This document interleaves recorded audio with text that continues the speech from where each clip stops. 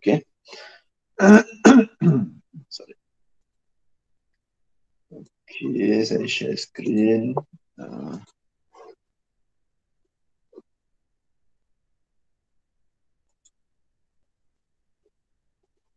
okay. okay, so uh, sebelum ni kita telah berbincang berkenaan dengan sorry uh, berkenaan dengan uh, design of experiment for one factor. Okay, so kita telah bincang. Okay, so ini adalah yang uh, paling basic yang mana kita cuma ada satu faktor sahaja. Kemudian uh, apa yang kita buat adalah semua perkara kita, semua aspek kita malarkan. melainkan melainkan faktor saja. Okay. So untuk itu kita ada dua kaedah uh, design of experiment. Pertama adalah completely randomized design. Okay, yang mana kita semua replication okay, dan juga semua treatment okay, di randomkan bersama-sama. Randomized together.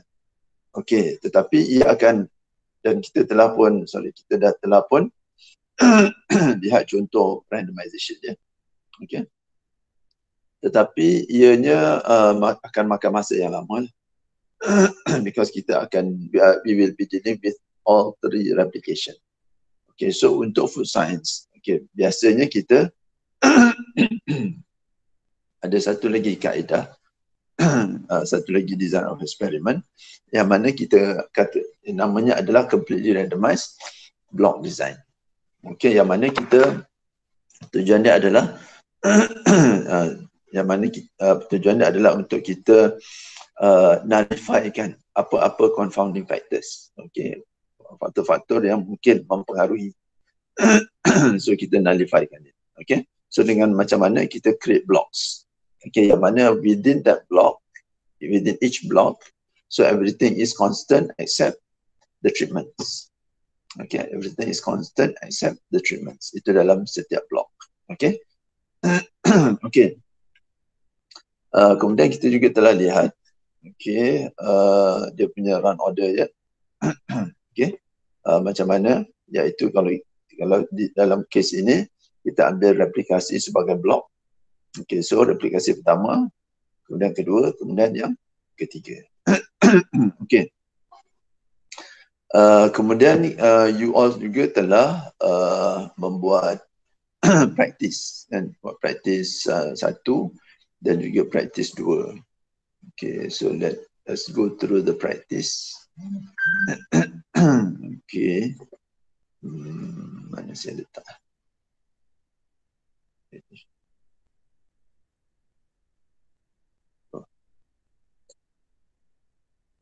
Okay. Okey, kita lihat praktis 1A dulu. Okey. So yang ni saya ambil contoh Iqbal punya eh, Iqbal. so uh, okey, so untuk praktis satu ni tujuan dia adalah untuk kita lihat uh, untuk kita lihat kesan replikasi. Okey, sebab sebagaimana kita telah bincang sebelum ini, okey replikasi dia adalah tujuan dia untuk kita uh, melihat uh, untuk kita dapat a better estimation of the population mean. Dan uh, disebabkan kita tak boleh untuk meng- mengukur setiap each and every individual in that population. so kita ambil representative. Okay, so kalau kita lihat di sini, okay, you all ada empat orang. Okay, so uh, ianya berbeza-beza.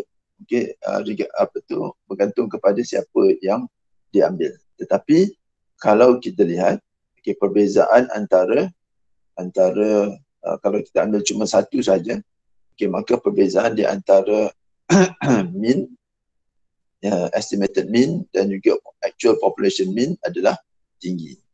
Tapi apabila kita tambah, maka ianya uh, berkurangan. Sehinggalah akhir sekali, maka ianya akan menjadi sifar sebab kita dah ambil semua. So our estimation uh, calculated mean is equal to is the same as the population mean. Okay. so begitu juga sebab itulah kita jalankan replikasi supaya kita dapat okay, uh, a better estimation of the population mean. So kalau di sini you akan lihat lebih banyak uh, apa tu individu yang kita ambil maka ianya lebih dekat kepada actual population mean. Okay, sebab itulah kita uh, jalankan replikasi. Okay. Okay, so um, uh, kemudian untuk praktis 1B. Okay. praktis 1B ni adalah untuk kita uh, uh, lihat. Okay. Untuk kita lihat kesan randomization. Okay kesan randomization. Okay so yang ini adalah randomization yang mana kita telah buat saya telah cipta. Okay. So dengan itu uh, kita saya telah terang, terangkan sebelum ni okay so kita just go straight to the to the apa ni uh, result okay So kalau no confounding factor and then no randomization. Okay, so tidak ada confounding factor and no randomization. Meaning that it, this is the the truth. Okay, ini yang sebenarnya. Okay, so kita akan lihat dia uh, apa ni A, B, C itu rendah, tinggi, sedikit rendah. Okay. Dan kalau uh, tidak ada confounding factor, okay, tidak ada confounding factor, tapi kita buat randomization pun dia akan dapat yang sama. Okay, so bermaksud kalau tidak ada confounding factor, it doesn't matter whether you do randomization or you do, you do not do randomization. okay, tak ada masalah. Okay, disebabkan tidak ada confounding factor. Okay, the thing is macam kita telah bincang sebelum ini, usually what we will do is something that people have not done before. So meaning that there are that certain degree of uncertainty whether there is uh, uh, there are confounding factors or there aren't. Okay, so that is why sekarang ni uh, kita tidak boleh assume ianya tidak ada confounding factor. Okay, so ini just nak tunjukkan uh, bahawasanya sama ada kalau uh, bahawasanya kalau tidak ada confounding factor, so regardless whether you buat randomization ataupun tidak, tidak ada masalah apa-apa you still get the same. Okay, kalau ada confounding factor tetapi tidak buat randomization. So kita akan lihat di sini yang mana ianya rendah, tinggi-tinggi. Okay, yang mana ianya jauh berbeza dengan yang sebenarnya. Iaitu no confounding factor, no randomization. okay. So di sini kita boleh lihat kesan confounding factor. Okay, yang mana ianya akan distort okay, dia akan mengubah data. Okay, daripada sepatutnya macam ni, sorry, macam ni, rendah, tinggi, and then rendah sedikit, dia akan jadi rendah, tinggi dan tinggi. okay. Okay, kalau kita buat uh, randomization dengan confounding factor, so apa apa yang kita dapat adalah, okay, so kita dapat rendah, tinggi, rendah. Okay, so kalau kita lihat di sini, adakah ini sama dengan yang kalau tidak ada confounding factor? Jawapannya tidak. Okey jawapannya tidak. Okey uh, tetapi ianya lebih baik daripada kalau ianya tidak dibuat randomization. Okey so dalam exercise ini dia tidak ada betul salah. You get what you get okey apa yang you dapat pun adalah benar okey tapi kalau saya compare kan pula dengan sebagai contoh Azura punya kan. Okey.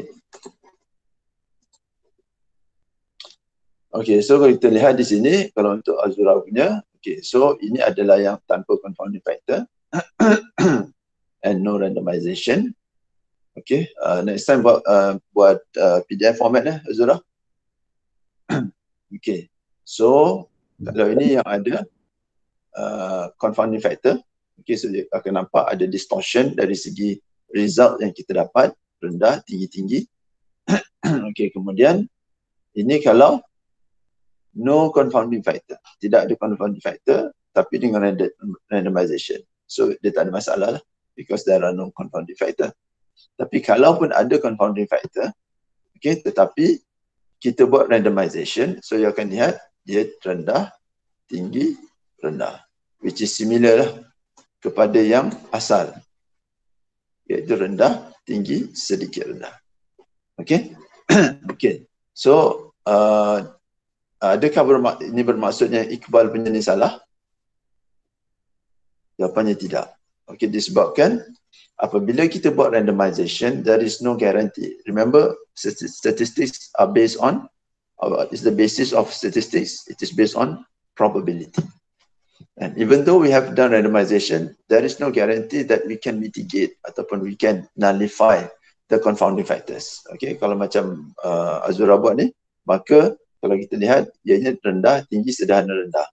Okay, sama dengan yang rendah, tinggi, sederhana, rendah. And, uh, so, tapi kalau Iqbal buat, okay, dia dapat rendah, tinggi, rendah. Yang mana yang A dan C ni adalah sama. Walhal yang asalnya sebenarnya adalah tidak sama. okay, so itu ini uh, nak menunjukkan Okay, so yang Iqbal punya pun betul, Azura punya pun betul because statistics is based on probability. So regardless, walaupun kita buat kaedah yang betul, tetapi there is no guarantee. Okay, because it is based on probability. Okay, but okay, there is a higher probability that we will be able to reduce the effect of the effect of these confounding factors. So kalau kita lihat di sini, yang sepatutnya rendah, tinggi, tinggi, dan ianya rendah tinggi rendah yang mana lebih mirip dengan yang asal.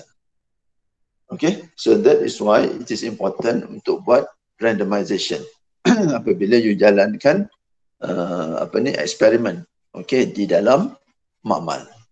Okay, kalau tidak kalau ada confounding factors then we do not know whether the data that we get is really the truth ataupun closing to the truth, very close to the truth, truth ataupun tidak. Okay? Okay, so that is why it is important untuk buat randomization. Okay? Okay, kemudian uh, kita lihat untuk uh, practice dulu eh untuk practice dulu.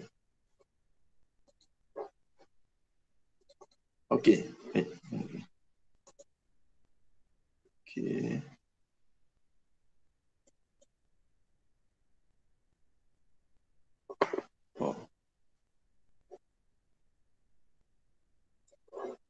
Okay, ah ni dia. okay, so ini adalah practice tu. Okay, so ini adalah bagaimana kita buat randomization. Sorry. Randomization untuk a one factor experiment. okay one factor experiment. Okay, so the first is completely randomized design. So kalau kita lihat di sini, kita ada total, ada total tiga, uh, berapa factor? Satu factor. Okay, satu factor ya. Eh? Okay, apa factor dia adalah heating temperature. So apa level dia? Ada tiga level. 60, 70, 80 apa treatment dia. So in a one factor experiment, the number of treatments are the same as the number of levels because the levels are the treatments. Okay, remember that. Okay, the levels are the treatments. Okay, so di sini level dia adalah 60, 70, 80 darjah Celsius. So apakah dia punya treatment dia, perlakuan? It is the same. That is that uh, that is 60, 70 dan 80 darjah Celsius. Okay? Okay. So, jadi apa yang you kena buat, ada tiga replication. So, the number of experiments adalah tiga darab tiga iaitu sembilan. Okay, so kalau kita lihat di sini, okay, kalau kita lihat uh, dia punya replication, so kita dapati replication dia adalah rawak bercampur-campur secara rawak. Okay. Dan semua replication ada 1, 2, 3, 1, 2, 3, 1, 2, 3. okay. Uh, dan kalau kita lihat di sini, ianya heating temperature juga adalah secara rawak. Cuma, okay, di sini saya rasa ianya tidak totally rawak. Okay, kalau kita lihat di sini, 1, 2, 3 kan. Okey, 1, 7, 70, 60, 80, 3, 2, 1. So, seolah-olah ini adalah satu replikasi. Kemudian yang ini 213. Yang ini adalah 213. Kan? Uh, jadi ini mungkin mungkin apa itu mungkin uh, apa ni uh, kebetulan saja. Okey, tetapi saya nak tunjukkan yang biasanya kalau ia totally complete randomized design kita akan nampakkan uh, replikasi ni adalah 3 2 1 lepas tu 1 kadang-kadang dia 1 lepas tu 2 2 lepas tu 3 ah jadi bermaksud dia tidak ada pecahan. Yang ini macam the first rep, ini macam the second rep, ini macam the third rep. Walaupun ianya di randomizekan. Okay? Okay, so begitu juga kita akan nampak di sini kadang-kadang dia 70, 70, 60, 80, 80, 60, 60. Ah, gitu. Jadi dia ter, semuanya adalah totally completely randomized. So apabila you buat ini, sebab itu untuk untuk uh, apa ni uh, completely randomized design, maka dia punya kertas undi dia dia ada wrap. Okay, dia ada wrap sebab you akan ada sembilan kertas undi. So you akan cabut mana-mana. Okay? Okay. okay, so kalau kita lihat satu lagi pula adalah completely randomized block design. Okay, kalau completely randomized block design, maka kita ambil dia punya uh, replikasi sebagai uh, block dia. Okay, so kita akan buat mengikut replikasi. Okay, so kita akan lihat di sini. Maka dia akan buat replikasi pertama dulu, kedua, kemudian ketiga. Okay, so kita buat randomization tetapi within the blocks. Apa block dia? Replication. So within the block dekat sini, maka it is randomized. Between the blocks, okay, within the blocks, Okey, maka kita randomize. Within the block, kita randomize.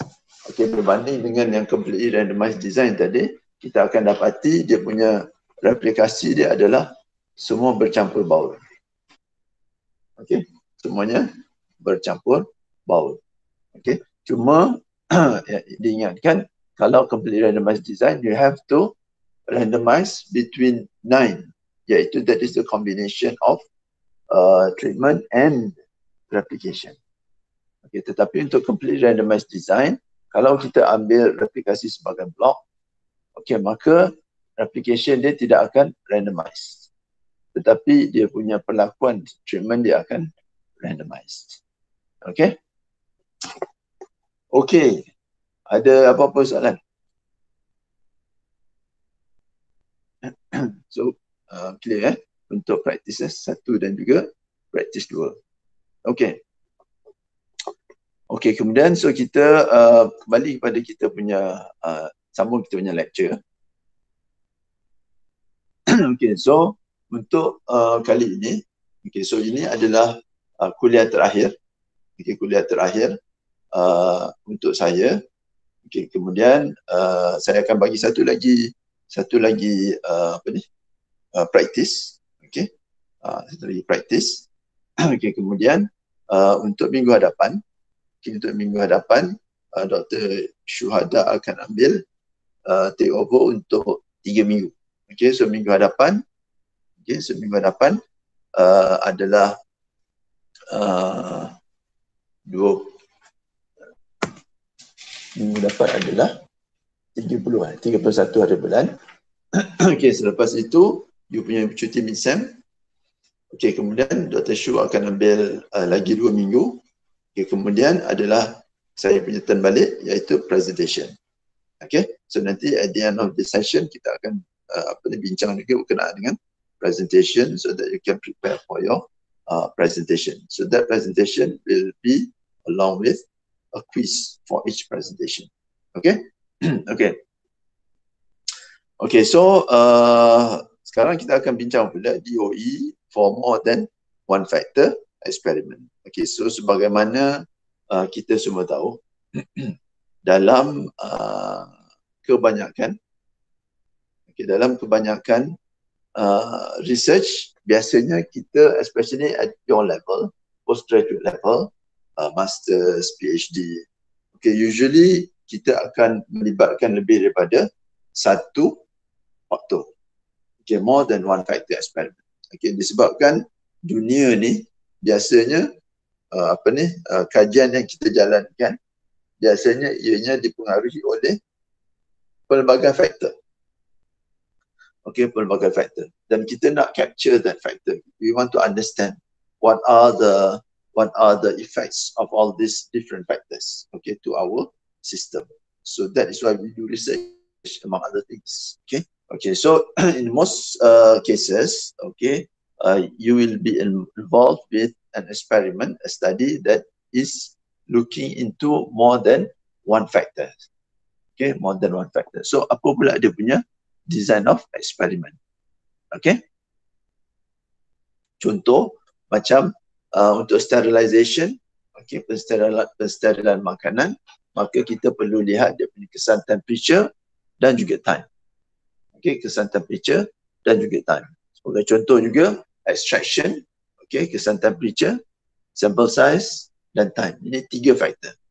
Okay, so usually kita akan perlu analyze two or more factors simultaneously. Okay, okay, so untuk more than one factor experiment, there are many. Okay, there are many. Among yang paling basic adalah factorial design. Okay, yang paling basic adalah factorial design.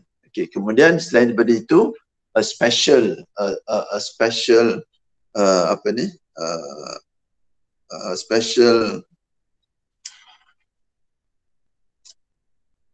okay, uh, a special type of factorial design adalah split plot design yang mana kita akan bincang juga. Okay. Kemudian selain daripada itu ada uh, apa ni uh, CC, CCRD Central Composite with Rotatable Design. Okay, and then kita juga ada mixture design yang mana ianya ada it is a special design of experiment. Okay, so ada banyak dan selain daripada ini juga ada yang lain-lain. Mosbank, Talguchi dan sebagainya lah. okay. Uh, tetapi dia punya basic dia adalah usually we will go for the simplest. Because for each design of experiment there will be uh, there will be uh, uh, errors ataupun assumptions. Okay sebagaimana yang kita telah discuss. Okay and with the assumptions there will be errors. Okay so what our principle is usually in deciding on which DOE that we uh, want to use is to go for the simplest if factorial design, like in this case, okay, factorial design is adequate to fulfill our research objective, then we will go for factorial. Okay, we will not go for all the more fancy, fancier uh, DOEs like uh, Taguchi, like uh, Box Banken, for example. Okay, so tak perlu. Because the factorial design can do the job. Okay, sebagai contohnya. It can fulfill uh, the things that we wanted to achieve. Okay? okay, so contoh Okay? So, let's go to the first one. Okay, the most basic adalah factorial design. Okay. so, factorial factorial design kita guna untuk study the effects of two or more factors. Okay, two or more factors. Remember, if it is one factor, then it is either completely randomized design or CRD or completely randomized block design ataupun CRBD. Okay, so itu untuk one factor. Tetapi if it is more than two factors, okay, so antaranya the most basic adalah factorial design. Okay, so the most basic adalah factorial design. So two or more. So kalau, okay, so kalau uh, sebelum ini. So kita ambil satu contoh. Okay. okay.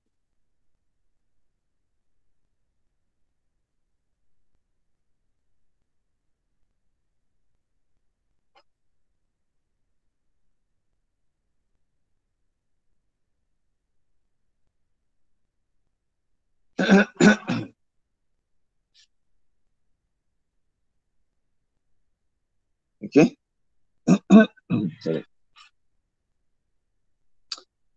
Okay, so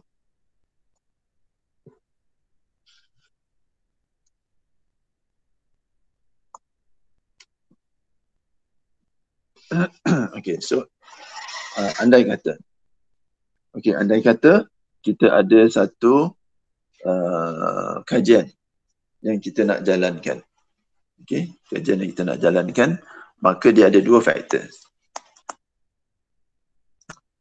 Sebagai contoh, katakan dia ada dua factors. Okay. uh, apa ni? Uh, faktor pertama, okay, katakan uh, time. Faktor kedua adalah temperature. Sebagai contoh. Okay. uh, kalau kita ada cuma satu faktor, okay, untuk setiap time ini, sorry, time ini kita ada dia punya level dia. Okay, time katakan ianya kosong jam, betul satu jam, Lepas tu dua jam. Temperature juga kita ada sebagai contoh dia katakan uh, berapa? 70 Celsius, 80 Celsius dan 90 darjah Celsius. Okey, sebagai contoh. Okey, so apakah ini dia punya levels? Okey, so ini adalah dia punya levels dia.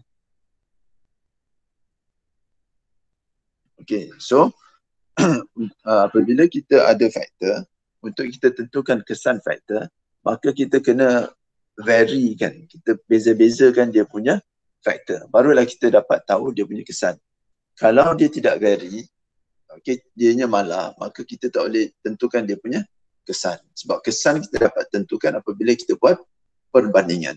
Sebagai contoh apakah kesan masa? So kita bandingkan di antara kosong dan juga satu. Sebagai contoh dan then only we will know what are the effects of time. Sebagai contohnya. Kalau ia cuma ada satu saja iaitu satu jam saja dan kita tak boleh nak compare. Kan? Eh? uh, so kita tidak boleh nak compare. Okay okay okay so uh, itu adalah dia punya levels okay so factors ada dua satu time, satu temperature. Levels dia adalah dia ada untuk time ada tiga level. Untuk temperature ada tiga level juga. Okay. So, kalau kalau sebelum ini kita tengok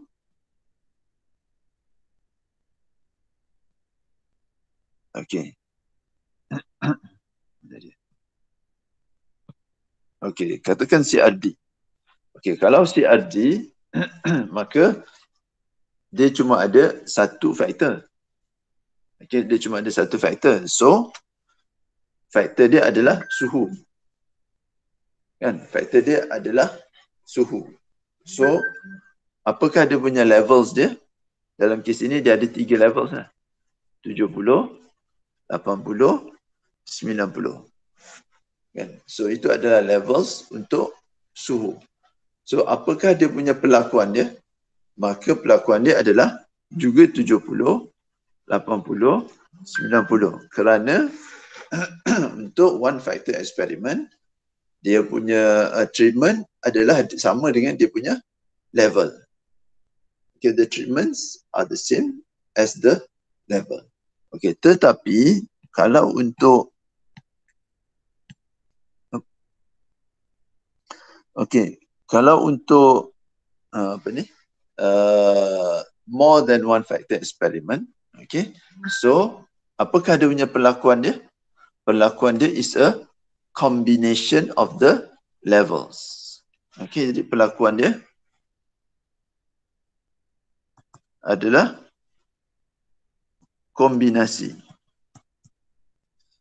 Okay, kombinasi bagi levels. Okey, jadi sebagai contohnya, kalau untuk untuk yang ini, maka okey dia punya perlakuan dia. Okey, dia punya perlakuan dia adalah kosong tujuh puluh. Kosong darjah Celsius 70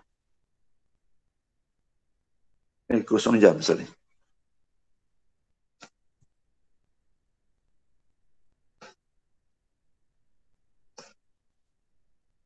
Eh,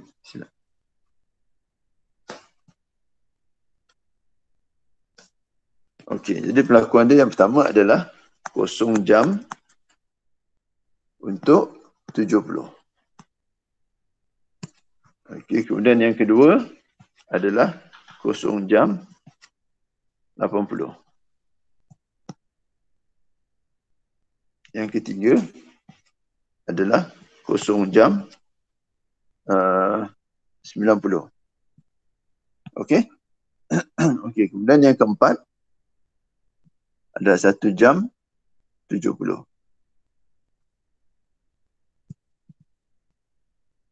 Kemudian satu jam lapan puluh. Satu jam sembilan puluh.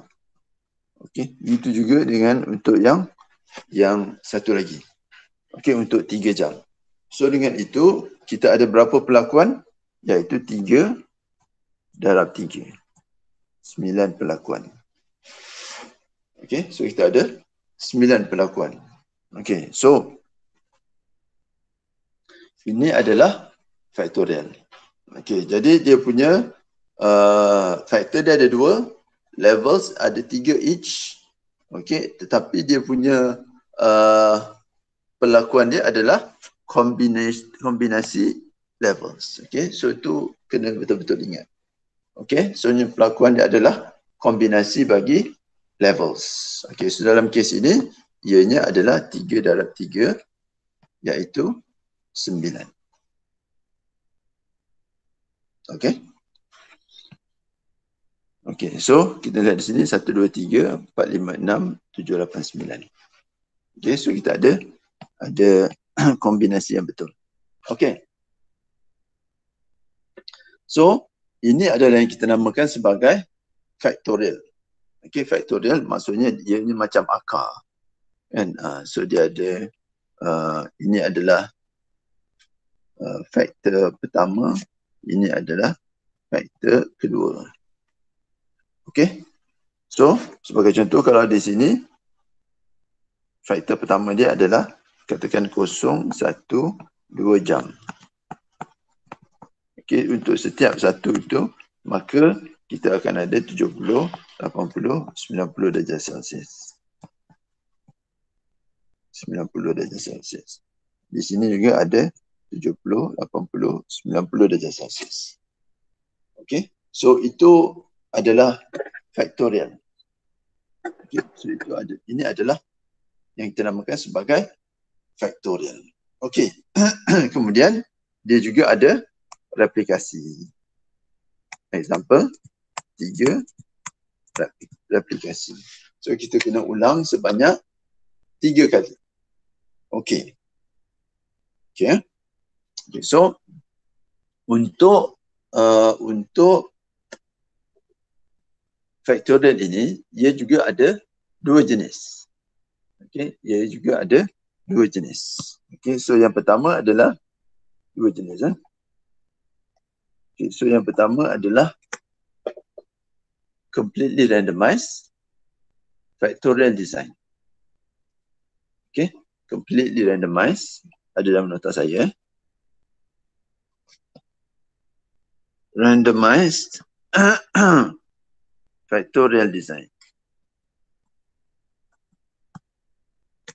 Okay, so completely randomized factorial design. Kemudian yang kedua adalah factorial design with blocks. Okay. Okay, so yang pertama tu tadi, kita lihat yang pertama dulu. Kita lihat yang pertama. Uh, completely randomized factorial design, ianya adalah similar kepada CRD. Tetapi cuma involving two or more factors. Itu saja. Okay, jadi kalau dia involving two or more factors, maksudnya treatment dia juga adalah lebih banyak lah. Kan treatment dia adalah lebih banyak. Okay, sebab dia involving two or more factors. Okay, so randomization sama seperti CRD, tapi randomization di mana randomization akan melibatkan semua treatment dan replications okay at the same time. Okay, semua treatment dan replication at the same time. Eh? Okay.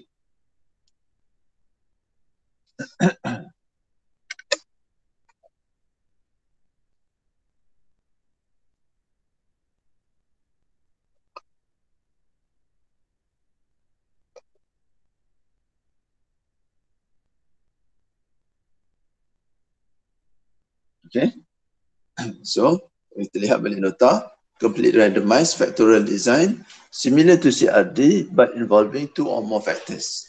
Treatments will consist of combinations of all factors. Okay, and then randomization will involve all treatments and replications at the same time. okay. Okay, so apa maksud dia? So kalau sebagai contoh, macam contoh tadi, okay, kita ada sembilan. Kita ada tiga aras uh, apa ni uh, masa dan tiga aras. Tiga aras. Apa tadi kita mencontoh tiga aras masa dan juga tiga aras suhu. Kan? Okey. So dengan itu uh, ada tiga darat tiga iaitu sembilan perlakuan. Uh, darat bagi dengan tiga iaitu tiga uh, apa ni replikasi okey so kita ada in total 27 eksperimen. Okay, kita ada 27 eksperimen. So apabila kita nak buat completely randomized factorial design, maka all these 27 apa ni uh, samples ini perlu di randomizekan totally. Okay, perlu di randomizekan totally. So bermaksud kalau nak cabut undi kena ada 27 okay, kena ada 27 uh, kertas undi untuk, untuk kita cabut. Okey. Uh, okey, sebagai contoh. okey, sebagai contoh.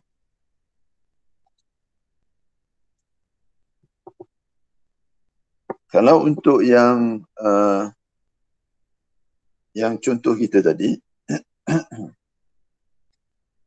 okey kalau kita punya contoh tadi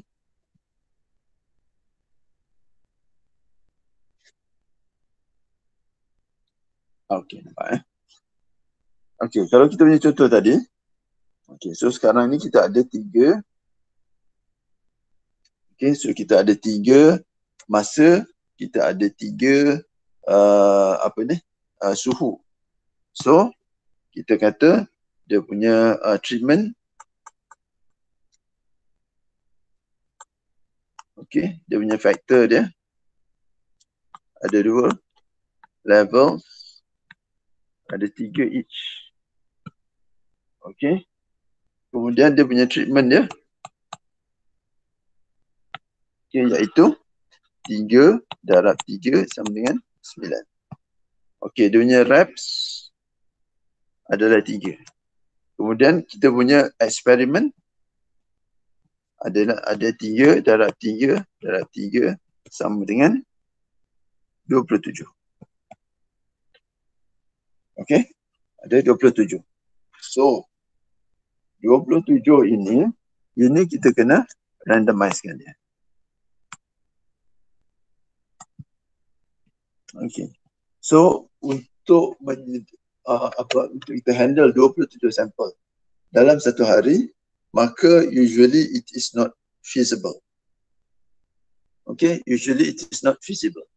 Okay, so tetapi kalau kita buat completely randomized factorial design, so kita kena randomize ni lah, all these 27. Kemudian kita randomize dan kita uh, barulah kita daripada randomization kita akan dapat kita punya run order. And then ini yang kita jalankan di dalam makmal. okay. Okay, so ini yang kita jalankan di dalam makmal. Okay, so sebagai contoh, katakan uh, macam case tadi. Okay, so kita akan ada satu, kosong. Saya tambah kat sini saja. Ya. Mana tadi? Uh, Okey, yang ini. Okey. Okey, so kita akan ada 070 rep 1. Okey, kemudian kita akan ada 020 rep 2.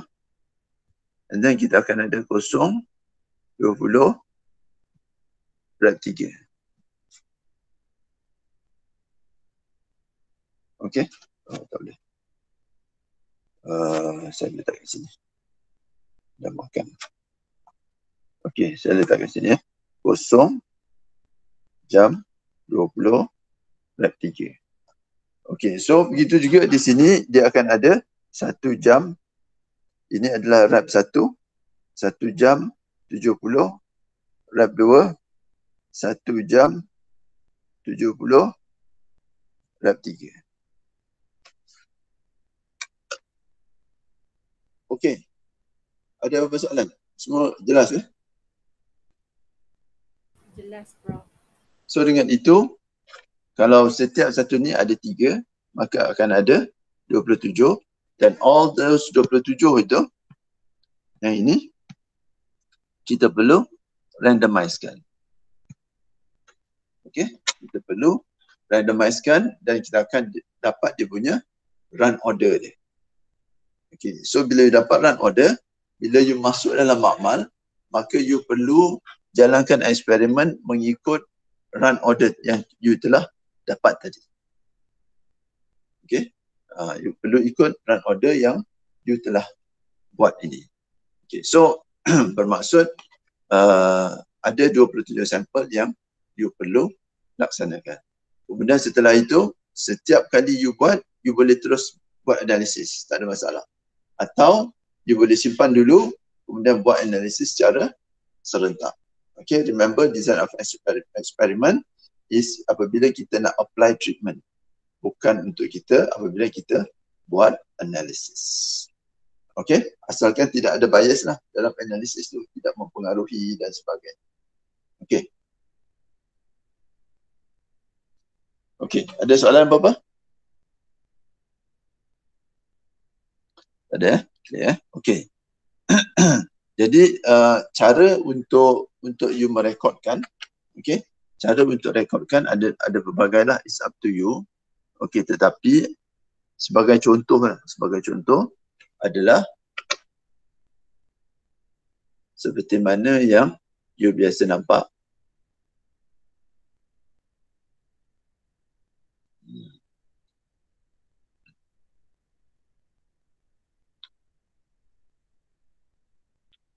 Okey. So kita boleh lihat di sini.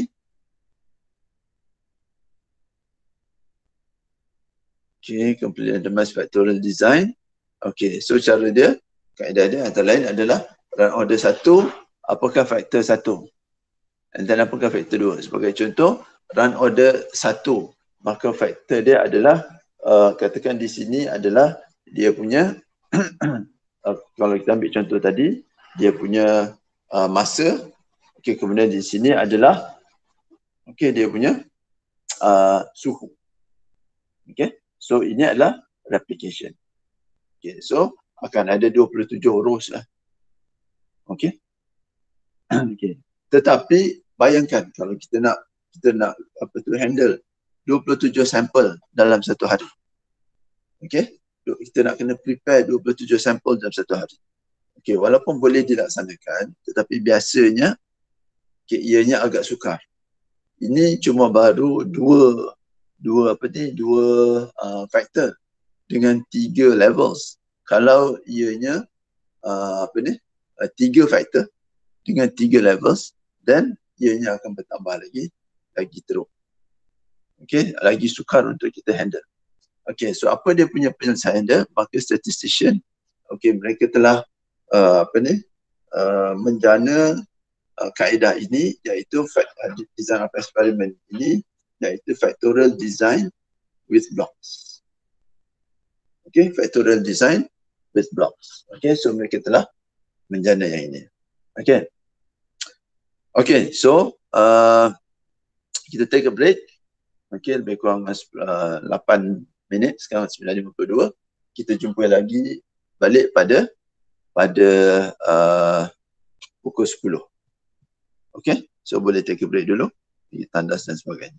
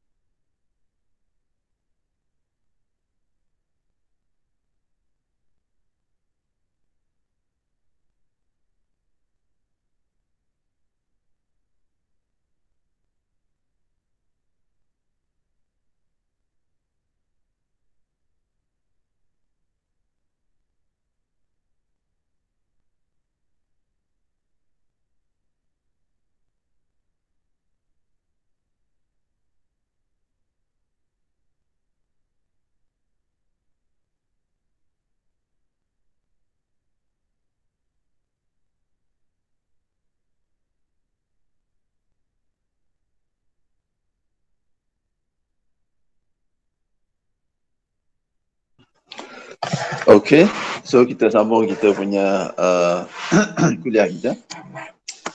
Okay, so uh, ini adalah faktor, tadi kita dah bincang factor, uh, complete randomized factorial design. Okay, so kadang-kadang ataupun kebanyakan masa lah, kita akan ada lebih banyak, lebih daripada uh, 9 treatments. Okay, tiga factors katakan, so kalau kita ada tiga factors, for each factor kita ada tiga levels. So kita akan ada tiga dalam tiga dalam tiga 27 treatments. Okay, so kalau 27 treatments, okay, uh, uh, apa ni?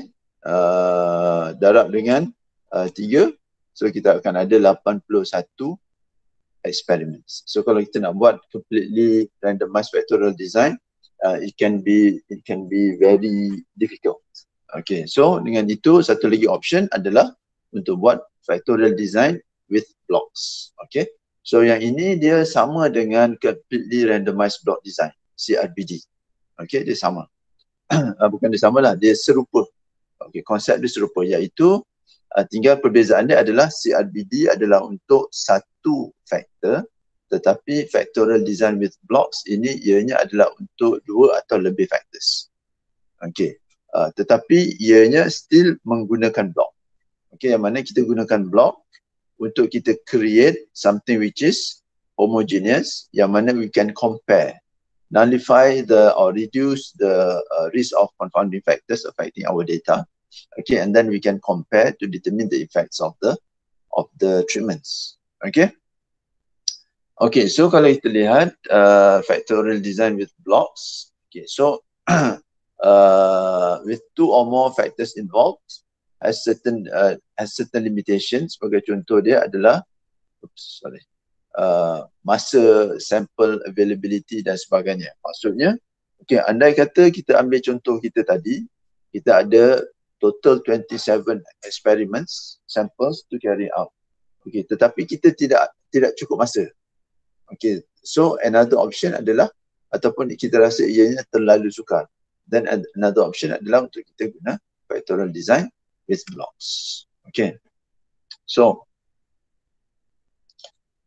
Okay, uh, similar to, to CRBD, okay, we'll randomize. Okay, kita akan create blocks. Okay, kita akan create blocks bergantung kepada kita punya kemungkinan untuk uh, confounding factor ataupun dia punya heterogeneity, dia punya aspek, aspek-aspek yang boleh mempengaruhi. Okay, tetapi kita akan randomize within the blocks. Okay, usually macam kita di food science, kita banyak buat kajian dalam makmal. Okay, so usually kita punya limitation adalah the number of samples. Okay, uh, so dengan itu it is more convenient for us to take the replication as the blocks. So kita blockkan setiap replication. Tetapi dalam setiap block dia akan ada semua treatment. Okay, akan ada semua treatment. So dengan itu kita boleh compare between the treatments. Okay, okay. Okay, so randomization okay, will be done for the first rep, okay, followed by the second rep, and lastly the third rep. And there are no randomizations between replications. Okay, sama juga dengan dengan uh, apa ni? Dengan uh, completely randomized block design. Okay, cuma di sini kita akan ada lebih daripada lebih daripada satu faktor. Okay, so kalau kita lihat uh, kita ambil contoh. Okey kita punya contoh. Okay, kita punya contoh. Yang tadi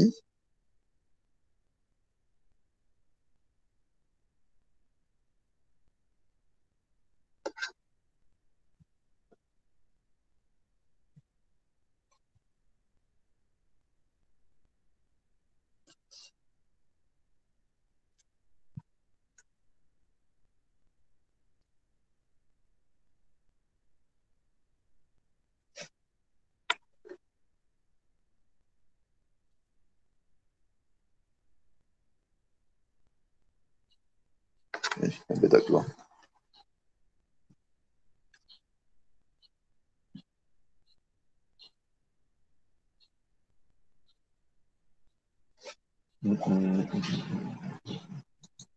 Okay. Okay, so kalau kita ambil uh, contoh tadi, okay, so kita ada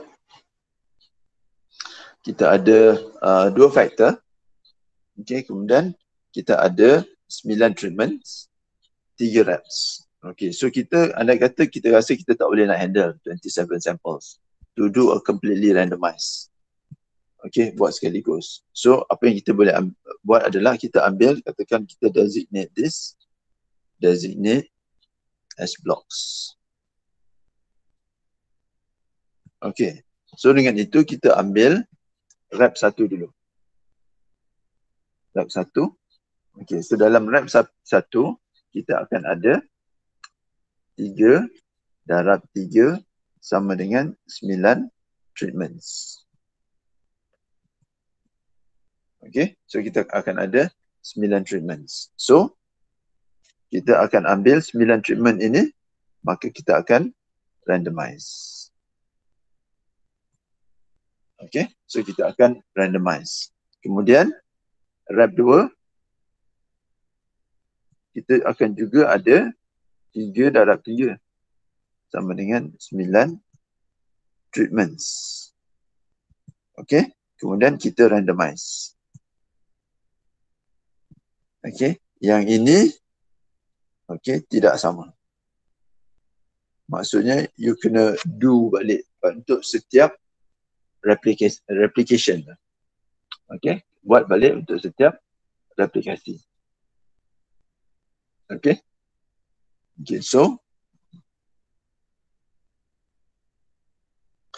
uh, begitu juga untuk rep 3. Okay, so 9 treatments. Okay, and then randomize. Okay, so untuk setiap replikasi ini, untuk setiap replikasi ini, maka remember apa itu replica, replik, replication? Iaitu kita buat okay, daripada A to Z. Maksudnya kadang-kadang ada yang beli satu sampel banyak.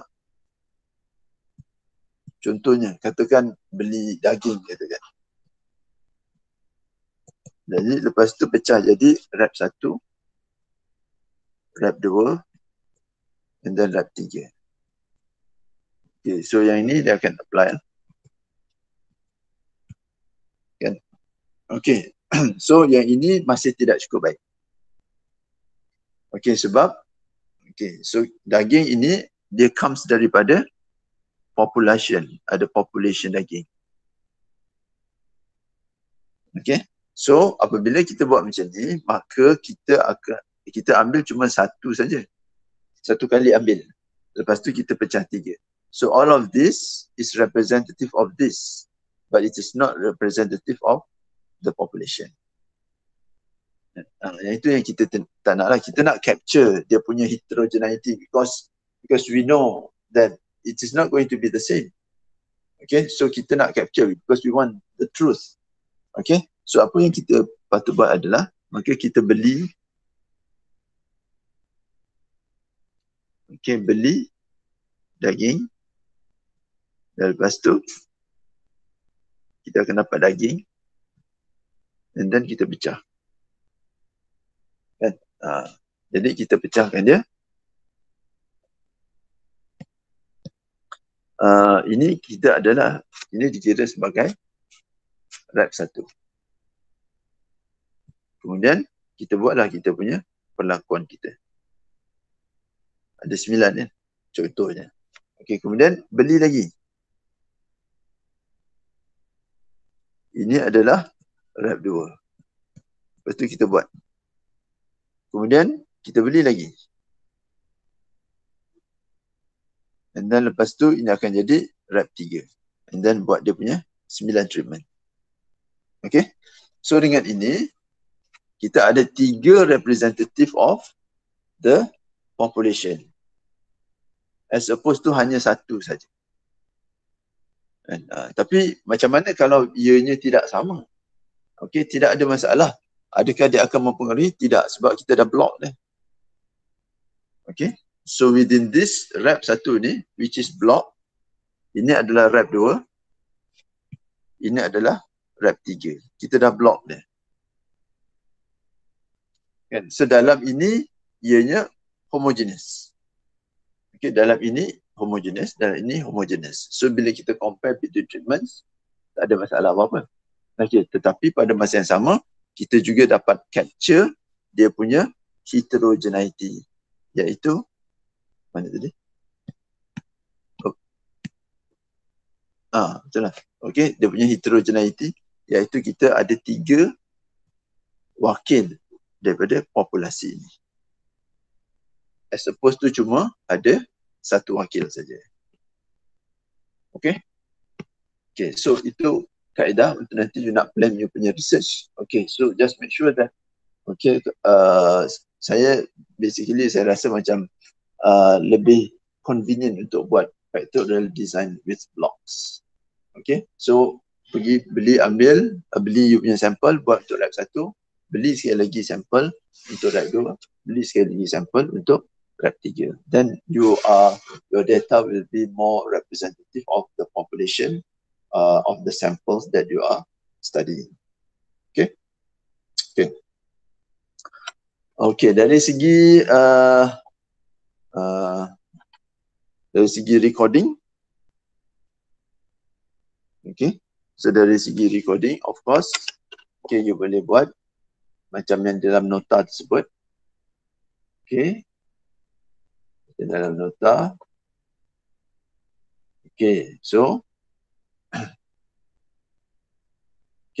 So uh, akan ada rap satu dulu, kemudian rap dua, kemudian rap tiga. Cuma di sini kalau untuk CRBD cuma ada satu faktor saja. Okay, cuma ada satu faktor saja. Okay, tetapi untuk uh, complete uh, factorial design with blocks, so ia akan ada dua faktor. Okay. Uh, okay. Uh, untuk both DOE to determine the effects of the factors, kita boleh buat two-way ANOVA. Okay, remember uh, kalau kita ada kalau kita ada ini uh, Dr. Shu akan uh, akan discuss lebih lanjut. Okay, so kalau kita cuma compare between two sets of data, okay, maka kita boleh buat t-test. But if we are comparing between more than two sets of data, then kita kena guna ANOVA. Okay, kita kena guna ANOVA. Okay, so apabila kita ada cuma satu factor saja, kita boleh guna one way ANOVA. But if we have two or more factors, then it is better for us to use a two-way ANOVA. Okay, because the two-way ANOVA will be able to objectively, statistically determine what are the effects of each uh, factor. Okay, what are the effects? of each factor and whether there are interactions. Okay, whether there are interactions. Okay, so you boleh bayangkan kalau you ada tiga ataupun empat factor, lebih-lebih lagi lah you perlu guna uh, two-way ANOVA. Kalau tak, you akan tenggelam lemas okay, dalam you punya own data. Yang mana saya dah lihat banyak lah even at the PhD level. Kan? Uh, sehingga kan pelajar tak tahu nak sebab terlalu banyak data, kita tak tahu nak bincang macam mana. Okay. Uh, tapi kalau kita gunakan uh, kalau kita gunakan uh, two-way ANOVA, so dia akan objectively, okay, statistically, dia akan uh, determine.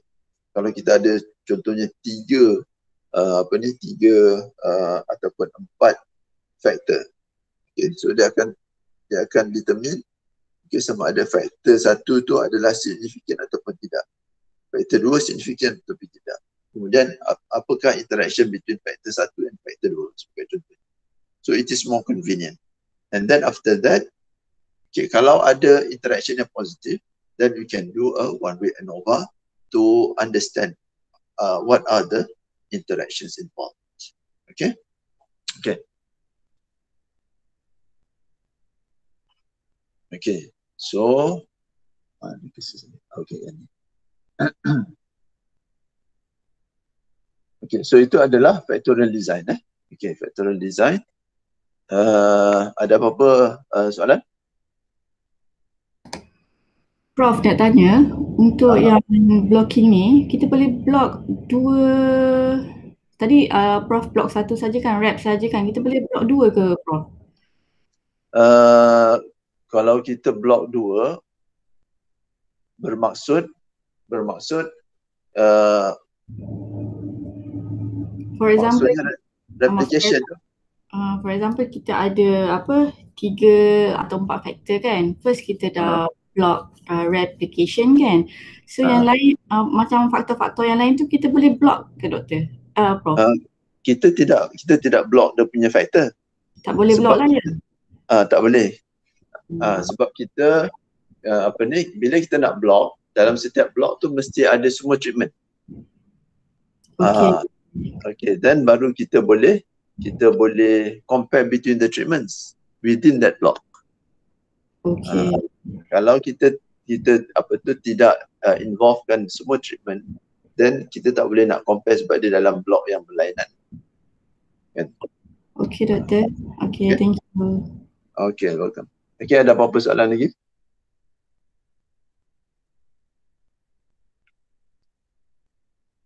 Okay.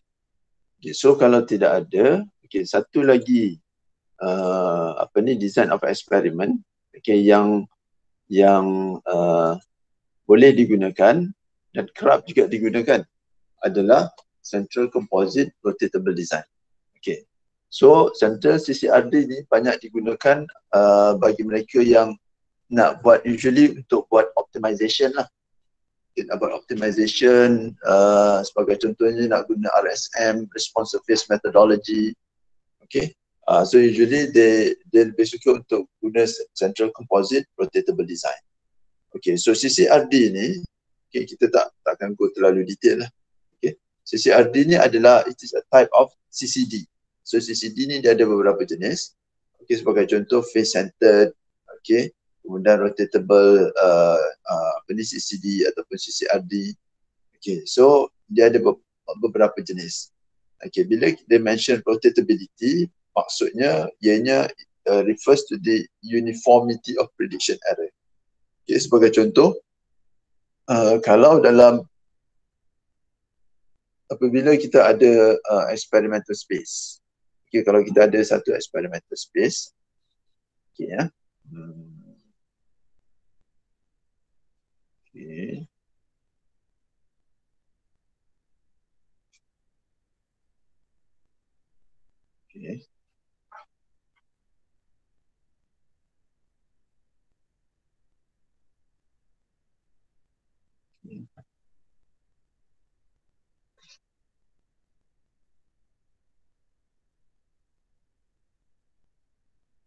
Okay. So okay. CCRD eh. Okay. Dia punya kelebihan dia adalah rotatability. Apa maksud rotatability? Maksudnya kalau kita ada satu experimental space, katakan ini kita punya experimental space. Okay, ini adalah faktor satu. Katakan kita ambil contoh kita tadi, ini adalah masa. Okay, dan ini adalah dia punya suhu. Okay, so kita akan ada masa sini, sini ini biasa kalau ianya adalah faktorial lah. Okay, okay sebagai contoh, okay, yang ini adalah uh, masa, yang ini adalah sebagai contoh ianya berapa? Uh, ini bukan koordinat eh. Ini tak semestinya kosong. Okay, katakan ianya adalah kosong uh, satu dua jam. Okey, yang ini pula adalah katakan suhu 70, uh, 80, uh, 90. Okey, darjah Celsius. Okey. So kalau uh, di sini maksudnya combination dia adalah combination bagi uh, 80 darjah Celsius 2 jam. Kalau ianya di sini, ianya adalah combination bagi uh, 70 darjah Celsius untuk 2 jam sebagai contoh. Okey. So ini adalah kita punya apa yang kita namakan sebagai katakan experimental space. Okey, untuk rotatability bermaksud okey untuk setiap point ini kita boleh predict dengan uh, apa ni dengan keyakinan yang sama. Okey dengan keyakinan yang sama. So itu yang dimaksudkan dengan rotatability. Jadi dia punya prediction error dia adalah sama. Sebab kadang-kala kat sini dia lebih. Di sini dia uh, sini uh, prediction error dia lebih. Sini prediction error dia kurang. Okay, so kalau rotatability bermaksud okay,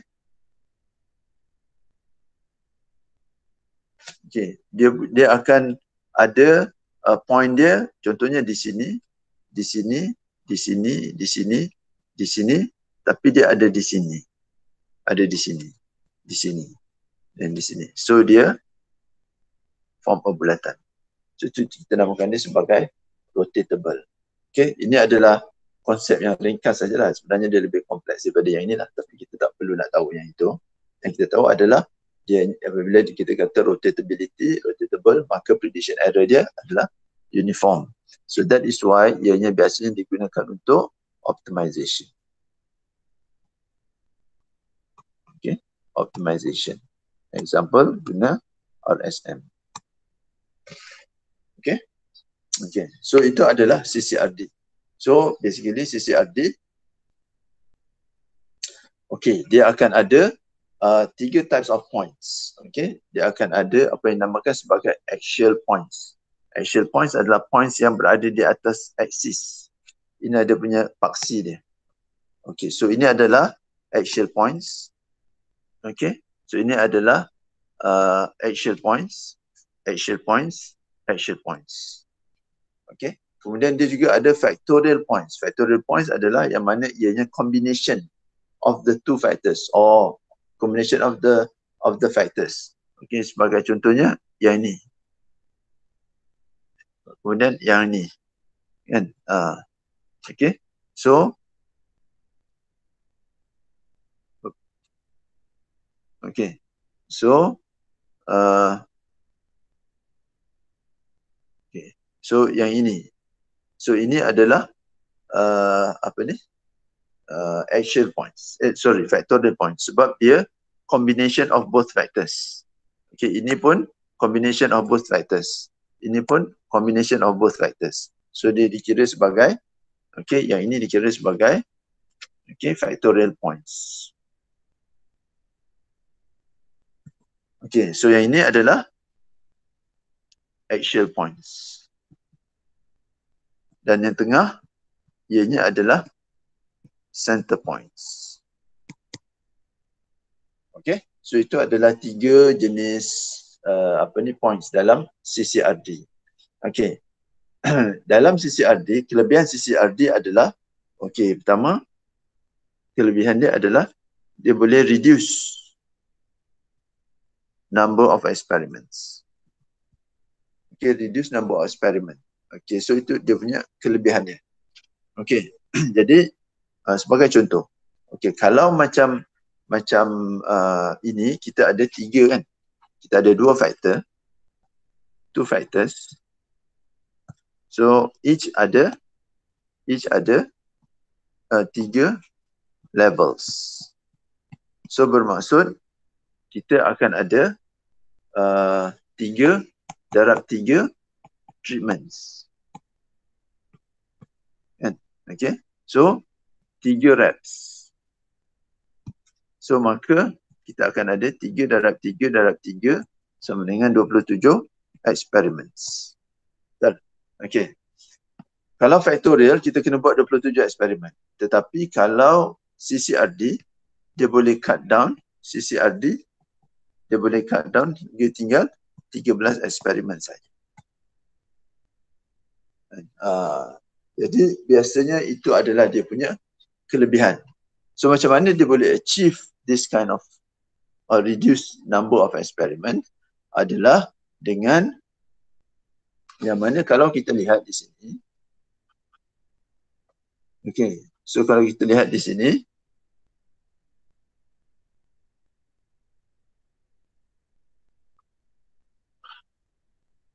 Okay, untuk kalau uh, ianya factorial, okay, maka setiap point itu akan di rep, uh, di direplikatkan sebanyak tiga kali. Sorry, tetapi dalam CCRD dia cuma replicate center point saja. Yang lain semua tidak ada replikasi. So center point dia akan replicate sebagai contoh dia sehingga katakan kadang-kala uh, tujuh kali tujuh rep repetition ataupun lapan kali dan sebagainya. Okay? okay. Macam mana kita belajar sebelum ini? Kelebihan kepentingan replikasi adalah pertama untuk kita get uh, the closest to the population mean. Secondly adalah untuk kita estimate kita punya uh, error, error estimation.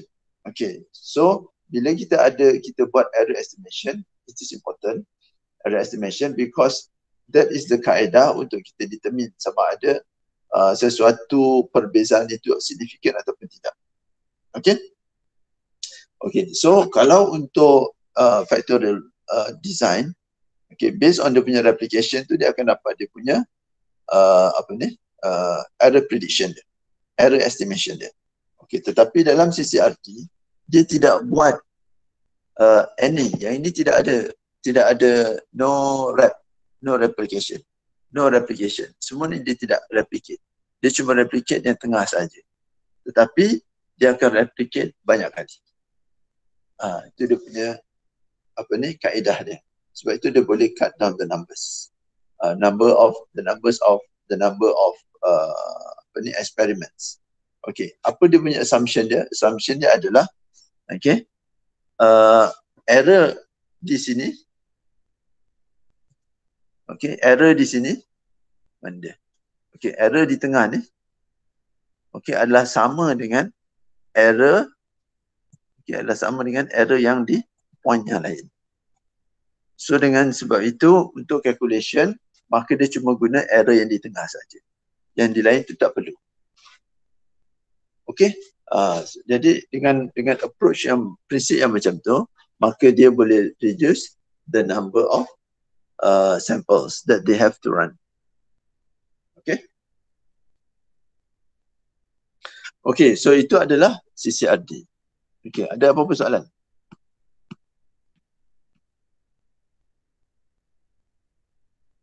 Okay. The next one adalah kita namakan sebagai mixture design.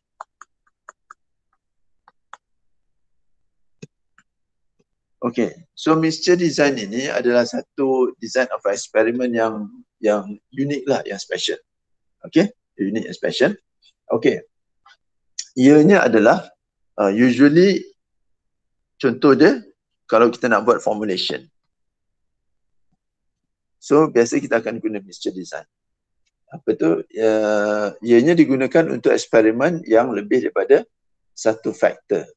Okay, dia punya karakteristik dia adalah okay, the factors are dependent on each other. Okay, and then a change, okay, sebenarnya ada dalam nota saya, a change in one factor will cause a change in the other factors. Okay, and then fractions of the factors will add to one. Okay, fractions of the factors, okay, will add to one. Okay, so sebagai contoh, okay, sebagai contoh, katakan kita nak buat uh, apa ni, nak buat uh, kek katakan. Okay. Katakan kita nak buat kek. Okay. Katakan kita nak buat kek yang uh, low sugar. Okay. Eh, tapi dia punya sweetener ini, sweetening kita ni.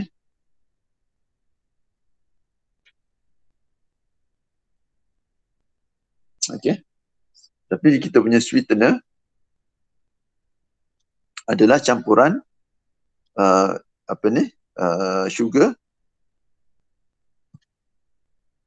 Kemudian maybe uh, aspartame. Kemudian satu lagi mungkin stevia. Okey stevia sebab dia natural. Yang ini sintetik yang ini of course lah sucrose yang biasa digunakan. Okey jadi kita campuran ini Okay, so maksudnya katakan kita ada kek. Okay, so kita nak masukkan. Okay, yang ini of course lah dia punya uh, flour, kemudian dia punya margarine, contoh dia. Okay. Telur, eggs. Okay. Kemudian kita nak masukkan uh, kita punya sweetener, campuran sweetener. Okay. Of course, apabila kita masukkan campuran sweetener ini, total dia, katakan ianya uh, apa ni, satu persen. Apa tu, uh, asalnya, okay, sucrose, satu persen daripada weight per weight of cake. Sebagai contoh. Okay. So katakan uh, katakan kek ini ianya adalah 1 kg. Okey iaitu 1000 gram. Okey kalau dia 1% adalah ianya maksudnya lebih kurang 10 gram. Kan? Okey ianya adalah 10 gram gula sucrose.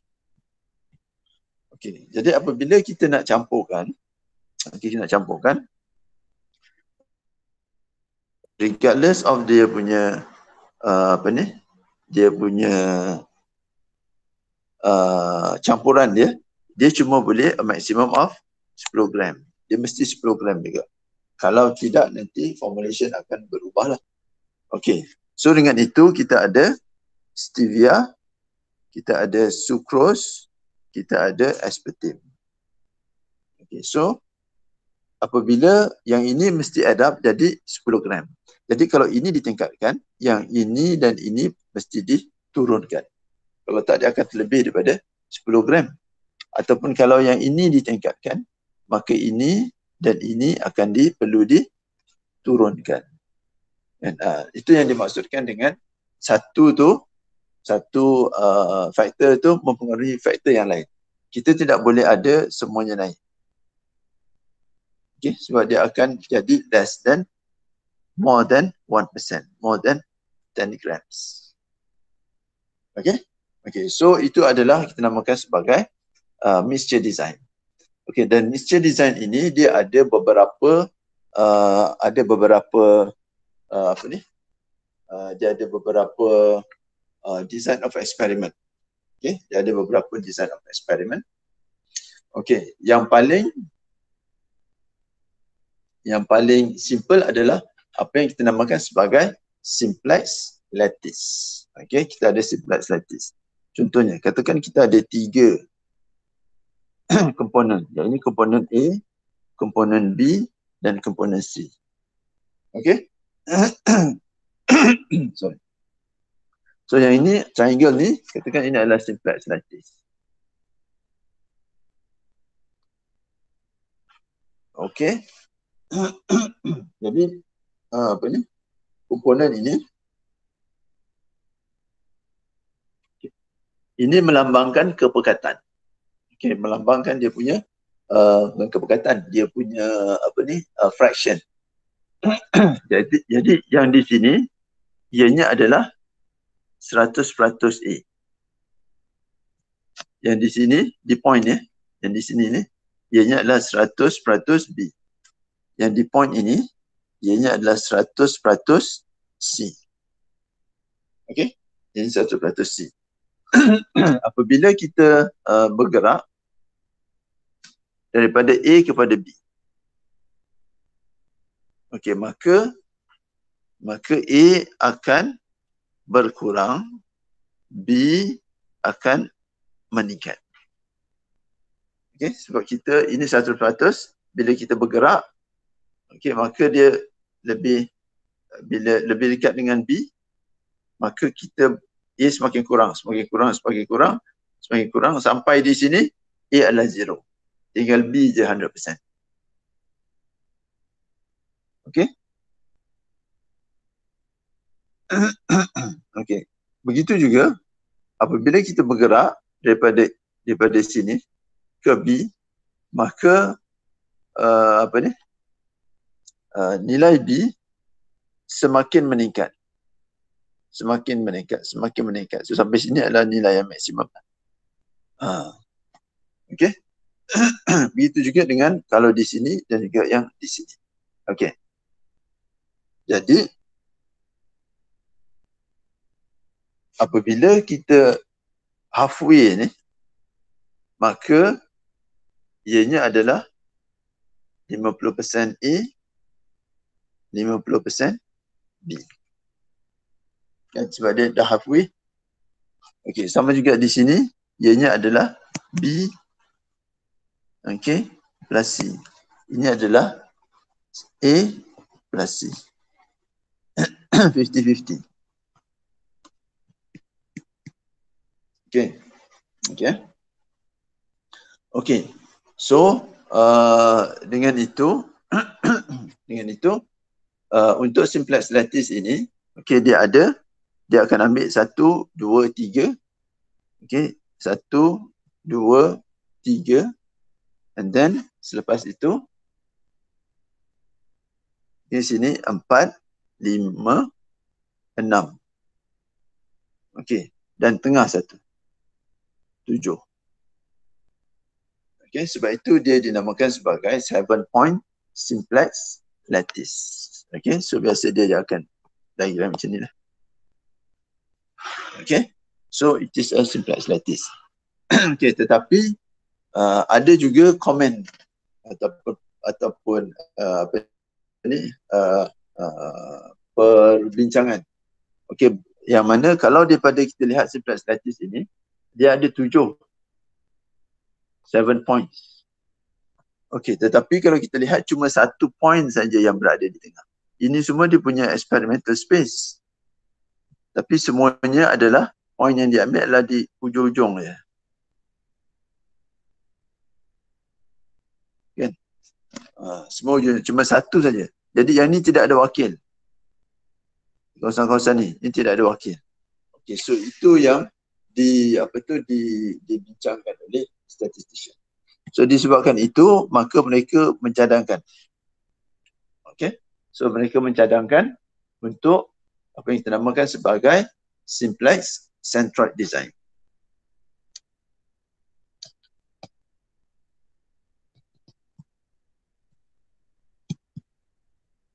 Okay, simplex centroid design. So dia sama juga macam tadi. Okay. So dia sama juga macam tadi. A, B, C. Kemudian dia ada center point. Kemudian dia ada. So center point. Kemudian dia ada yang di tengah-tengah. Okay. So ini adalah 50-50. Sini pun 50-50. Ini juga adalah 50-50-50. kan? Okay. So kita ada satu, dua, tiga, empat, lima, enam, tujuh. Okey, tetapi dia akan tambah lagi iaitu di sini, di sini dan di sini. Sudah akan jadi macam tu. Uh, Okey, so space ini telah diwakili. Space ini telah diwakili. Space ini telah diwakili. So dia menjadikan uh, apa ni, uh, prediction tu lebih baik lagi. Okey, uh, okey. So ini adalah kita nampakkan sebagai 10 point augmented ada dalam saya punya notes eh okey uh, apa ni simplex centroid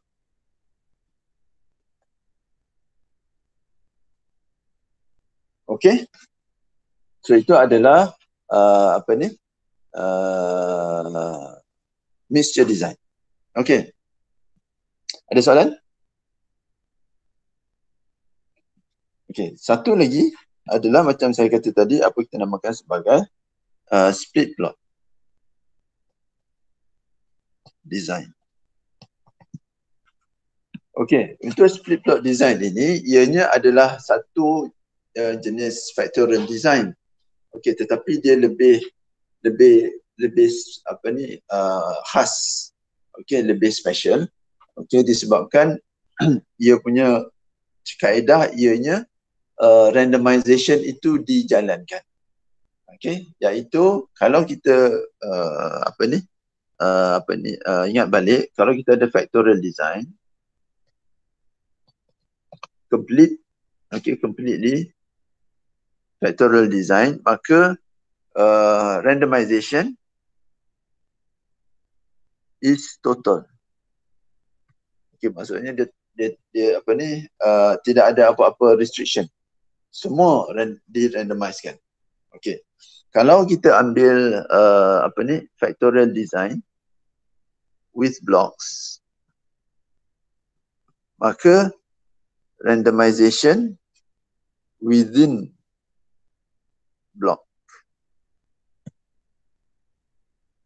Okay, randomization hanya dalam block saja. Okay, kalau split plot pula, dia punya randomization dia, okay, is in sequence. Okay, randomization dia adalah in sequence. Okay, kenapa ianya berlaku? Okay, ianya berlaku kerana dalam uh, in, in, in certain situations, okay, kita nak buat eksperimen, kita ada limitation. Okay, sebagai contoh, uh, kita cuma ada satu sahaja uh, heater sebagai contoh. Okay, jadi kita nak uh, apa tu, kita kena buat satu uh, apa ni, uh, kita ada limitation, kita tak boleh nak buat banyak sekaligus. Okay. Jadi kita boleh consider split plot ataupun ianya melibatkan parameter yang sukar untuk kita manipulate. Okay, sebagai contoh pressure, uh, temperature sebagai contohnya. So sukar untuk manipulate. So dengan itu kita boleh consider split plot. Okay. So let's take an example. Okay, sebagai contoh kita punya uh, contoh tadi ni. Okey, contoh yang kita telah buat ini iaitu kita ada dua faktor. Okey, iaitu uh, masa dan juga suhu. Kan? Okey.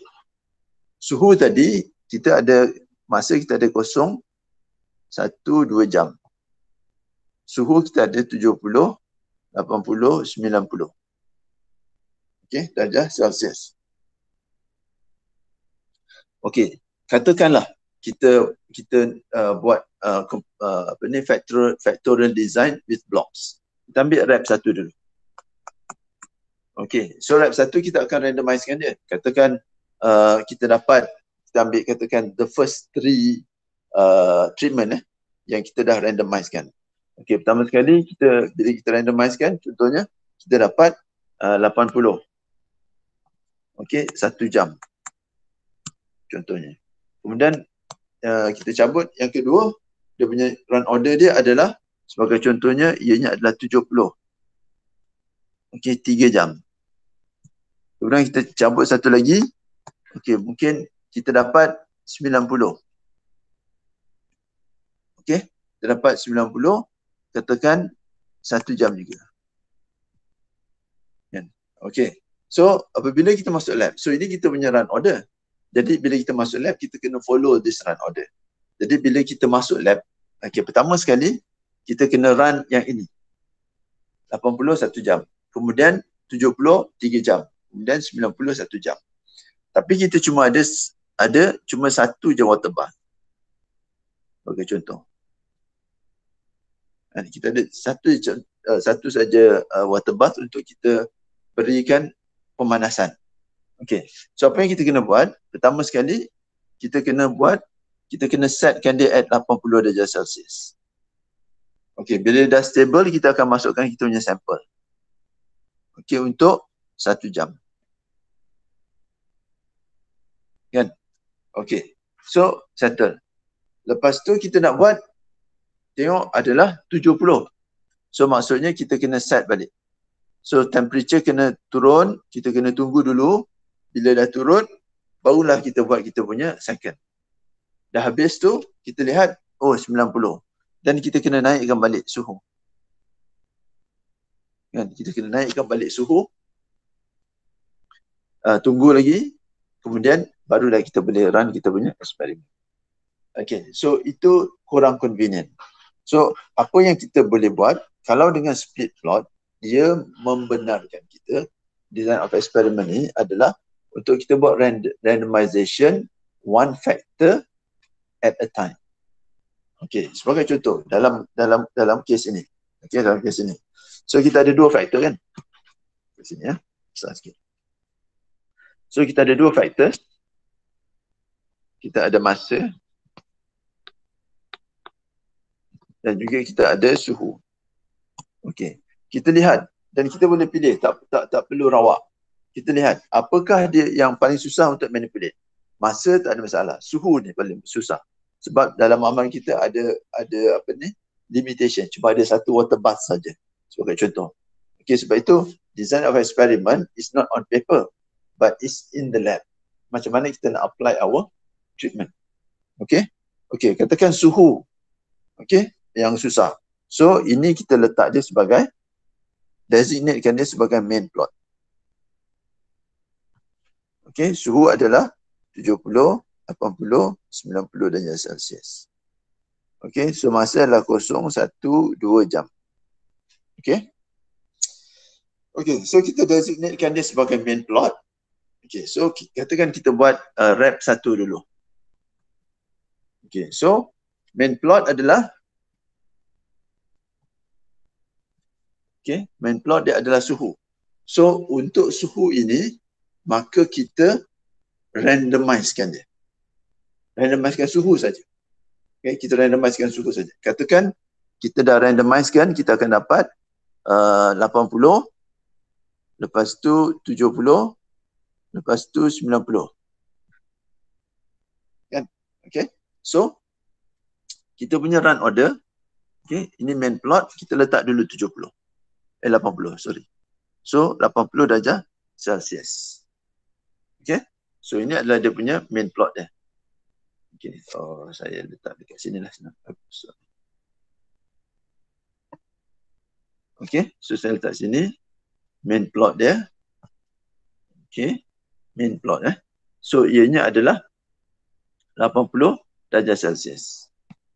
Okay. Kemudian cabut satu lagi.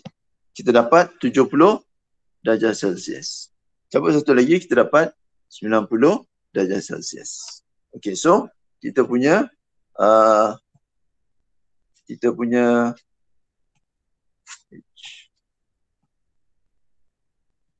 Okay, so uh, main plot kita dah siap dah. Okay, ini main plot. Kemudian split plot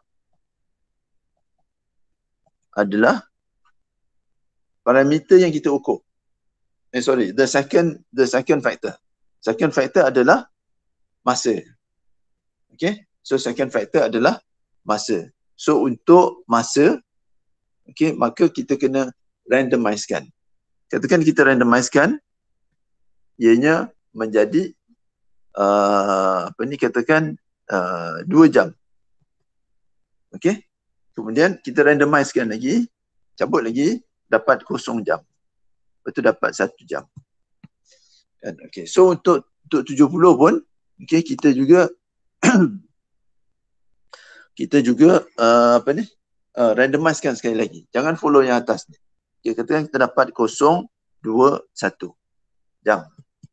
Okay, so ini adalah kita punya run sequence. Run sequence kita adalah ini run sequence satu, dua, tiga, empat, lima, enam.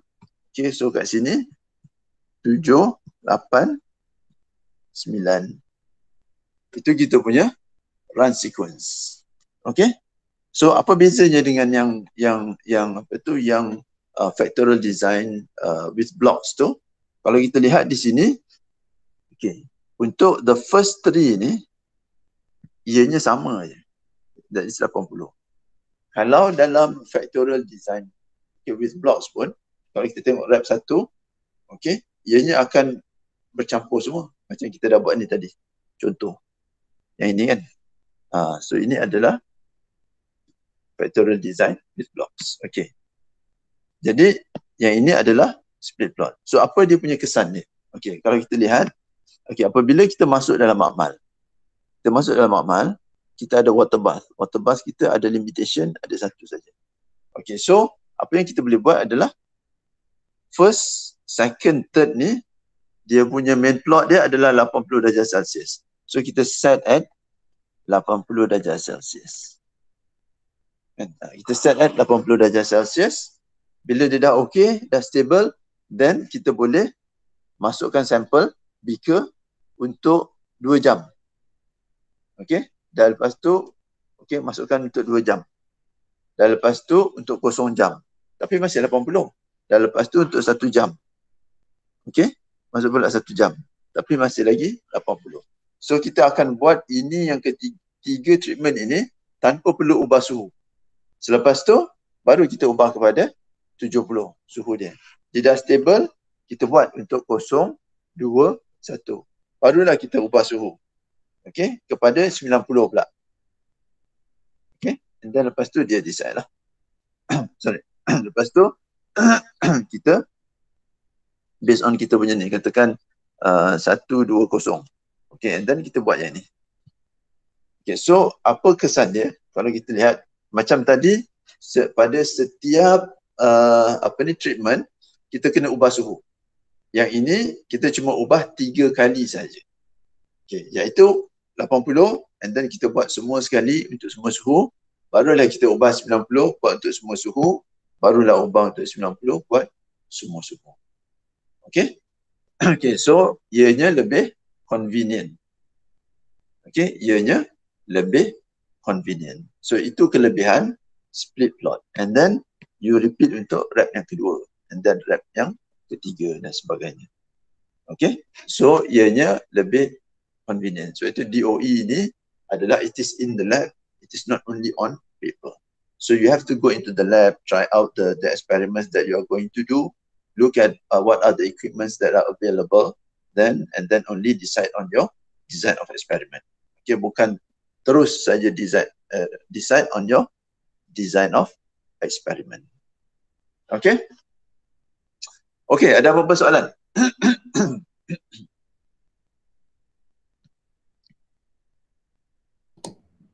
Doktor nak tanya. hmm, sila. Okay, for example saya ada tiga faktor. Faktor A, okay. B dengan C. Okay. Faktor A ada tiga level. Okay. Faktor B ada tujuh level. Okay. Faktor C ada lima level. Okay. Okay. Uh, Ini banyak ni pening kepala ni. Ah, pening. Jadinya saya ni memang nak buat full factorial. Jadinya Okay. uh, untuk faktor uh, untuk faktor A sahaja. For example lah kan uh, bukan A sahaja. Uh, satu apa tu apa panggil? Okay, jadi okay, jadi you ada tiga factor, three factors. Okay, and then these are your levels. Jadi you Hmm. punya treatment Okay, adalah treatment ada tiga, berapa? ada tujuh, ada lima kan doktor? Okay, betul. Eh, berapa? Okay. Aha. Betul, betul. Okay. Jadi uh, untuk nak habiskan dalam masa satu hari memang tak boleh lah. Jadi kalau saya buat uh, blog tadi, Mhm. saya kalau saya buat blog, saya bahagi tiga lah. 105 tu bahagi tiga. Hmm. Still banyak lagi 45 sampel per day. Jadi boleh ke macam setiap kali blog tu saya bahagi lagi day? Uh, dia sebenarnya blok ini dia bukan ikut hari. Okay. Uh, dia ikut uh, apa ni dia punya confounding factor. Okay. Contohnya kalau you kata 105 ni kan, you Aha. kena tengok apa confounding factor yang mungkin mempengaruhi. Kan? Uh, apa yang mempengaruhi? Kalau anda kata you punya sampel apa ya? Sampel saya oleogel. Oleogel eh. Aha. Saya ada satu, uh, uh, yang faktor A tu adalah jenis oleogel, uh, beeswax, uh, sunflower wax semua tu. Level saya adalah concentration uh, kosong sampai, kosong is the control lah, kosong sampai 3.5%. And Okay. then sini is the suhu. Uh, suhu saya uh, ada suhu lah, ada 5 suhu, 5, 10, 25, 40, 45 yang saya nak tengok lah. Okay. Uh, okay. So uh, kalau macam uh, saya lihat di sini, okay, uh, sebab you punya bahan-bahan ni semua stable, okay.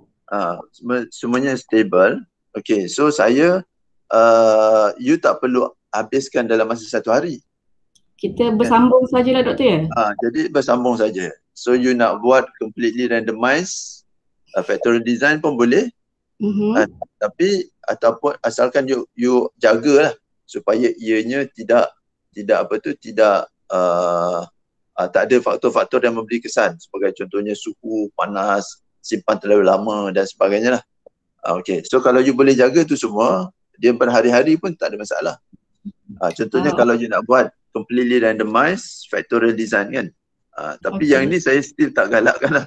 Sebab uh, you kena beli siap-siap tiga replication. Mm-hmm. Audio gel sebagai contohnya. Kan, uh, saya still cadangkan untuk completely randomized, uh, sorry, factorial design. Uh, design with blocks. Uh, jadi maksudnya you uh, purchase you punya oleo gel, you MPOB ke? Ah betul doktor.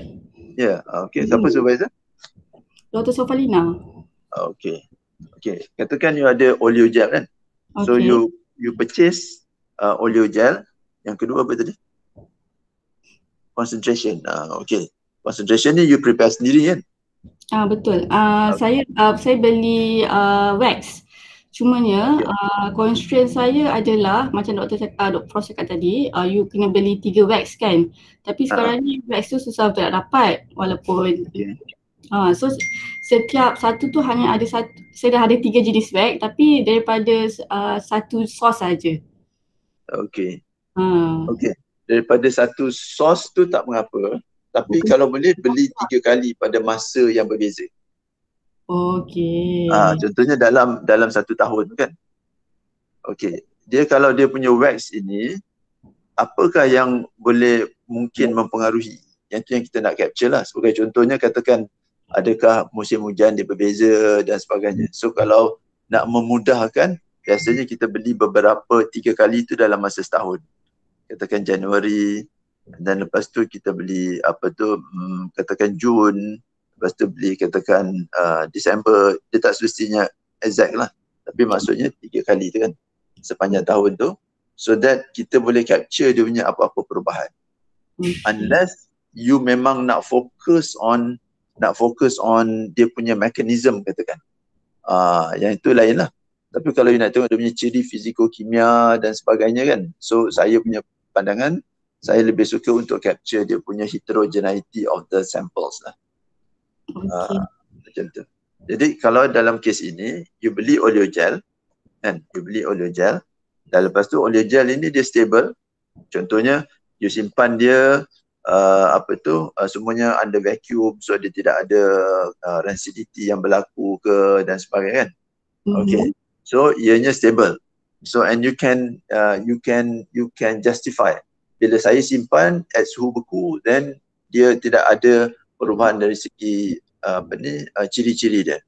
Okay dan ada paper untuk support, ada kajian untuk support kan. Uh, jadi dengan itu you beli and then you boleh prepare lah you punya ni 105 tu. Asalkan okay. ianya di randomizekan. Okay. Uh, dah habis ini, okay and then you beli lagi polio gel and then you buat the same thing. Uh, macam tu. Okay, okay Prof, thank you. Okay. Okay, ada apa-apa soalan lain?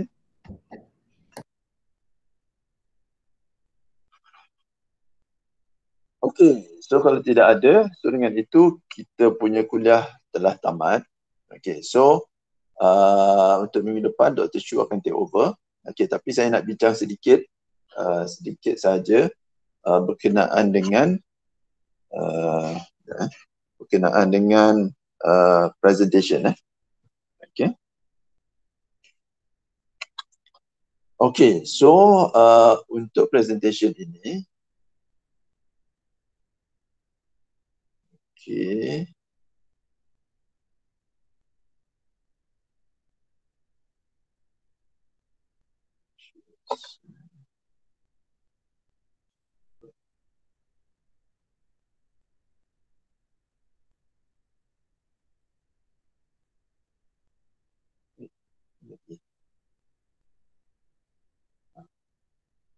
Presentation. Okay ya. okay, ini saya akan upload nanti. Okay, so just nak uh, discuss a little bit.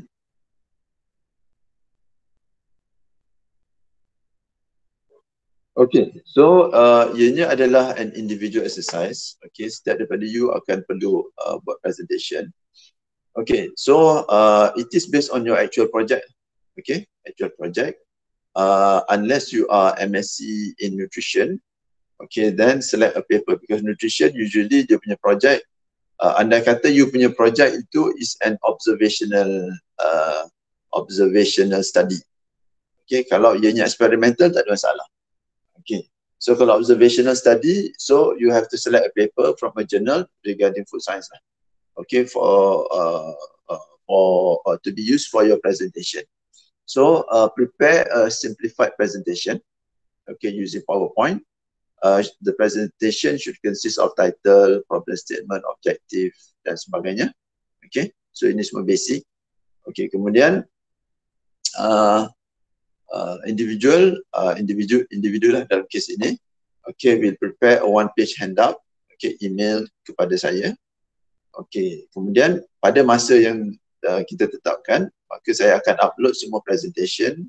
Okay, and questions to be answered for each presentation in the UKM folio. Okay, so each student has to answer the quizzes from 8 to uh, AM to 5 PM. Okay, and then email the answers kepada saya pada by 5 PM. Okay, so lepas tu kita akan discuss lah apa yang uh, kesilapan dan sebagainya. Okay, okay. Uh, uh, kemudian untuk setiap presentation tu quiz uh, akan diberikan okay, merujuk kepada presentation based on what the content of the presentation. Okay, uh, akan ada empat quiz sebab you empat orang. Okay, quiz adalah open book. Okay, uh, students are allowed to refer to books, notes, etc. Okay, dia punya rubrik dia adalah okay, uh, design creativity and also neatness, tiga dan dua. Basically tak perlu terlalu kreatif asalkan ianya uh, nampak elok dan that is good enough. Okay bukan. Uh, sebab kita adalah uh, yang diberi penekanan adalah dia punya statistik punya part lah. Okay? Okay kemudian correct answers. Uh, itu yang lima tu lah. Okay? Okay. Ada apa-apa soalan? So ini saya akan uploadkan dalam UKM Folio untuk you rujuk berserta dengan satu lagi praktis uh, tiga dan juga uh, deadline dia adalah dalam seminggu lah Okay untuk praktis yang untuk uh, apa ni presentation ini kita akan jalankan uh, dua minggu selepas sem buka. Uh, sebab tu uh, Dr. Shu akan habiskan dulu part dia dan baru saya akan masuk untuk presentation. Okay. So uh, ada apa um, soalan? Prof nak tanya. Um, ya, silakan yang journal tu sebab saya punya ni buat uh, cross sectional study. Ah uh, okey. Uh, master uh, lepas tu yang untuk paper journal tu uh, uh, nak uh, cari yang macam mana eh? Uh, cari yang experimental study. Experimental study tak kisah uh. guna teknik apa-apalah. Ah uh, tak kisah. Ya yeah, experimental uh. maksudnya ya experimental maksudnya kita kita yang in yang in charge of the treatment. Contohnya ha. macam pemanasan kan. Mm-hmm. Kalau macam cross sectional biasanya kita kita tak ada kuasa atas treatment tu. Ha, contohnya mm. macam uh, orang yang anemia kan. So kita tak adalah pergi uh, jadikan dia anemia, anemic kan. Uh, mm-hmm. So itu kira observational. Kita just observe. Okay, tapi mm. dalam experimental study ni maksudnya kita yang uh, itu impart the treatment. Contohnya ha. macam pemanasan, uh, extraction, uh, macam tu. Okay, hmm. uh, cuma kalau you gunakan uh, sebab dalam satu paper tu, usually dia akan ada banyak parts kan. Uh, just ambil satu part je lah. Uh, oh, pick uh, satu je lah. Ah, uh, satu je. Itu juga dengan yang pelajar lain yang walaupun uh, you punya apa tu study tu ada banyak part, ambil satu part saja. Uh, okay? Okay, thank you Prof. Okay, welcome. Okay, ada apa soalan lain? Okay, so kalau tidak ada, okay, kita uh, apa ni, sampai sini saja. Okay, terima kasih untuk kali ini. Terima kasih Prof. Okay, sama. Thank you.